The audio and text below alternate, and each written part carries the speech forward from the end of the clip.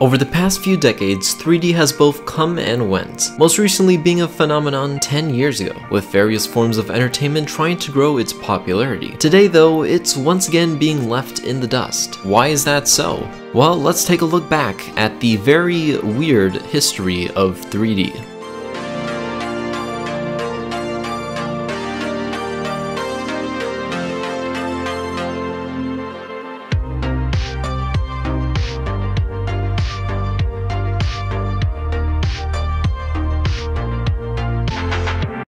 Three D film can be dated all the way back to the late 1890s with a patent made by William Friese-Greene. His patent involved a stereoscope in which a user would look through to see two films side by side. The earliest film known to have some form of 3D would be 1922's Power of Love. Unfortunately, both the 3D and 2D footage seem to be non-existent but it worked with anaglyphic colors that you would be used to seeing when you think of 3D. 3D technology really began taking off though in the mid-50s with films like House of Wax and Bwana Devil, which became the first 3D film in color by Arch Oboler. This film truly changed the game and was breaking box office records even in the light of negative press. This is when big studios like Disney, Universal, and Paramount would give 3D a shot.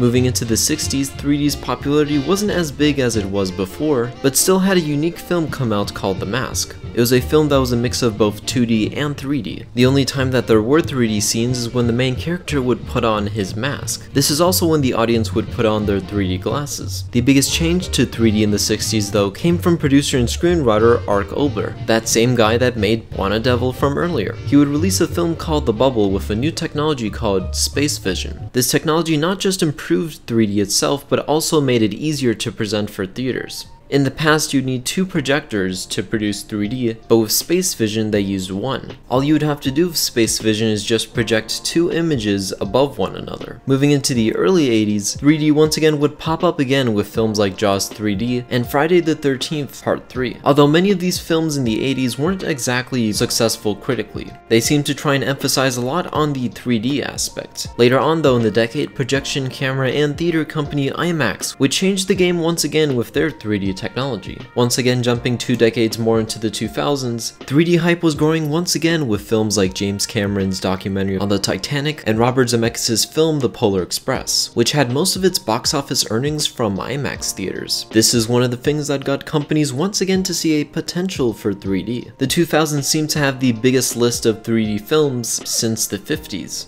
but it felt like some films were really just using 3D as a gimmick, once again like there were some in the 80s. But later in the decade, with the release of Avatar and its stunning effects and major box office, the 3D hype train would truly start moving. Other industries outside of Hollywood also saw 3D as the future, especially the television market. Many digital flat screens tried to show off that you could watch 3D at home. Some even saw the possibility of having 3D TV channels. This hype would continue on into the super early 2010s, with other devices trying to have 3D on it like smartphones, and even Nintendo with the 3DS. By 2013 though, 3D TVs were out of style, and so was 3D. Movie theaters would still continue to use 3D and even 4D to get more people into theaters in the first place. This is because ticket sales for theaters were declining ever since the early 2000s, and theaters needed some incentive for people to come in. The only piece of 3D technology that has seemed to survive out of all of this is the 3DS. But that wasn't even because of the 3D technology, mostly. Today, 3D is more successful in the attractions department at places like theme parks, especially if industries trying to focus more on AR and VR technology. The future of 3D once again, as it once was in the 70s and 90s, today seems like it's non-existent. The only home it has is at some movie theaters and at theme parks. And I'm not so sure that Avatar 2 will be able to bring back 3D as it once did in the past. So thank you guys for watching and I will see you in the next one.